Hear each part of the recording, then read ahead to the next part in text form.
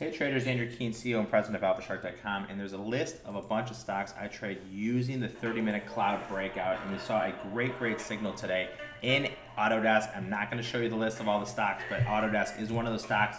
So 30-minute bar guys looking for the breakout of the cloud to the upside or the downside. It's a simple, easy setup here. You buy the breakout to the upside, okay? Stop is under the cloud, and then you risk to make the same amount. So on this trade in Autodesk, you'd have bought the breakout of the cloud to the upside on the 30. So really, literally at 9.30, I just watched this close, and I would have been buying, let's get an exact price here. Um, the close was 138.72. I could have risked to 134.72, so risk three to make three. As you can see, I got four to the upside. So 30 minute breakout here, guys, worked great today. Three winners, no losers uh, in Autodesk on the 30 minute bar. Thanks, so we'll run it back to our